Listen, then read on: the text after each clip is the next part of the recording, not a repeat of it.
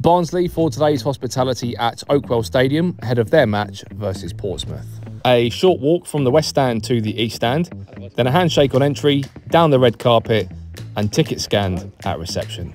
Tickets in hand, we then received a programme and spotted this on our way upstairs and into the Legend Suite. A fist bump from Toby Tyke on our way to our shared table. Then for starters, a huge onion bhaji and a few words with some players and Jeff.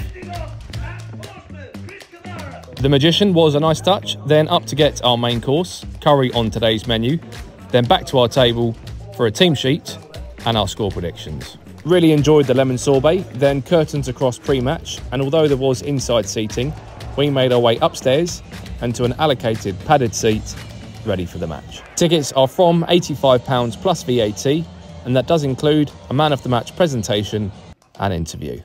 Where should we go for the next padded seat?